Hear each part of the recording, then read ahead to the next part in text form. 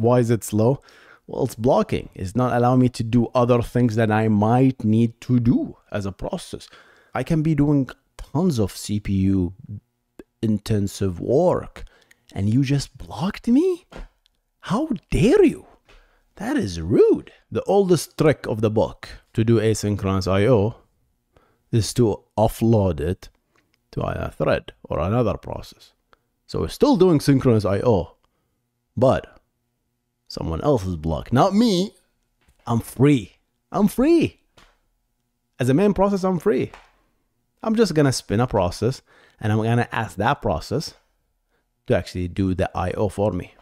Uh, we need to start with the idea of synchronicity versus asynchronicity. I talked about this many times in this channel and my podcast. Essentially, to be synchronous is think of it as a client. You're calling some sort of an API, some sort of a backend, some sort of a server. Doesn't matter.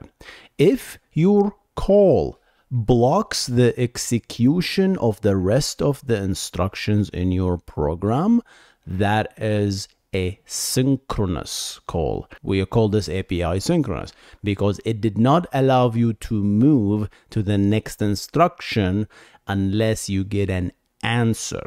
Okay, so you're blocked, and when you're blocked, uh, you don't get to execute the rest of your instructions.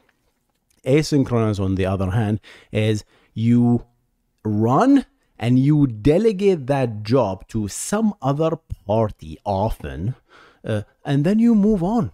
And then sometime later, you either check if this is ready or you get a callback, like with Node.js, how Node.js does it. Uh, that, hey, your result, remember this thing you asked about a few milliseconds ago? It's ready. You can you can get the results here. So that's the gist of synchronous versus asynchronous execution. Okay, and and we can dive into details just just by that, but we want to kind of move that into the I/O concept. So what does it mean to do asynchronous I/O?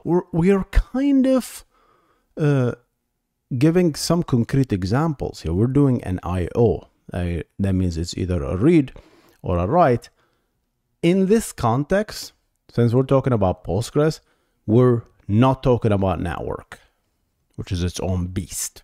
We're talking about files, right? We're reading and writing to desk, right? And we're dealing with system calls, that is the kernel system calls, that allows us to read from files because database is just a bunch of files, believe it or not. Yeah, Shocking, right? The data, the, the kernel provides you with a beautiful system calls that allows you to do I.O. Often, all of these methods are synchronous. That means read, for example, is a system call that allows you, given a file descriptor that you have opened for a file on disk, I want to read that file and I want to put whatever I read, this many bytes in this pointer, copy the data and move it to this memory location where it lives in my user space. That's a read call. And that is a blocking call. It's a blocking call. If you call that, your process will switch from user mode to kernel mode because you called a system call. And then your, that's it you cannot move to the next instruction.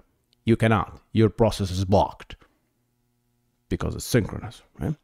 And until the kernel take that read, talks to the uh, I/O controller, NVMe or whatnot, does the actual block read, uh, uh, gets the result. We're talking here about buffered I/O, so we're writing into the page cache to the kernel page cache. Uh, and then gets that uh, get a copy of the uh, of that whatever we read into the page cache and then we get you now from the page cache to your memory location and that is a CPU cost you're copying data from the page cache into your specified buffer okay so that's a read write uh, is identical right? it just works the other way right? but it's synchronous. Right? So I'm blocked when I do that. What's wrong with that? Well, if it's wrong, if, if you're doing a read, you get something and you read it. Think of it, implement a full table scan. You read, get something, process it. Read, block, get something, process it. As, as opposed to read, read, read, read, execute, and then let me worry about that later. So yeah, think about it. Why is it slow? Well, it's blocking. It's not allowing me to do other things that I might need to do as a process. Like I can have, I can be doing tons of CPU intensive work and you just blocked me? How dare you? That is rude, right? So synchronous IO, that's it, blocking. Asynchronous IO allows you to uh, unblock yourself. Well, the the oldest trick of the book to do asynchronous IO is to offload it to a thread or another process. So we're still doing synchronous IO, but someone else is blocked, not me. I'm free. I'm free. As a main process, I'm free. I'm just gonna spin a process and I'm gonna ask that process to actually do the IO for me. Guess who's doing that? Node.js. Yeah, for the longest time, Node.js exclusively worked on that mode. For files, for files. Don't yell at me, for files. Network is a different beast. I talk about all of this, by the way, in my Node.js course if you if you're interested to know the details and the inners, the inner the inner workings of this. Go head to node.win, W-I-N. It will redirect you, get you a coupon. Worker thread. Beautiful design. Nothing wrong with that. Right? So so let do the asynchronous IO, but let someone else get blocked. So we're still getting blocked, right? And Node.js, by the way, uses a library called libuv to implement that piece. Right?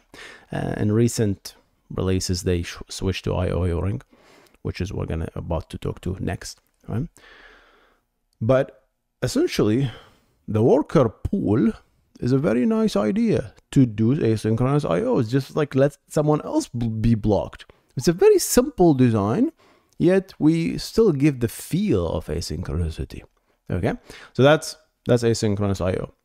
Now, asynchronous I/O again, I'm talking about file I/O here. Nothing about network. Different beast again. Here, asynchronous I/O, there is a new interface. I say new; it's been there for years now. It's called io_uring, which is a shared memory between the kernel and the user space where the user can submit a job and the kernel can pick that job, actually does the read, and then writes back the results into the um, in, into the shared memory space and then the current the the the user can check if the result is ready. So it's a pure asynchronous model. If you really think about it someone else is doing the blocking read and that's the kernel right we're just offloaded the game. That's the whole the game, by the way. We just tell someone else to do it. It's just we present it in a in a pretty way. Okay. So everything at the end of the day is is synchronous. There's no escape. Someone else has to pay the price. Right? Okay. So that's io_uring. Of course, uh, I think Node.js supports it. Right? I keep referencing Node.js because oh, Node and all these framework and Postgres, they're all software. They all need to read from disk and do network, and they're all kind of a backend infrastructure, which is the specialty of this channel. Uh, of this channel. So synchronous IO, asynchronous IO briefly.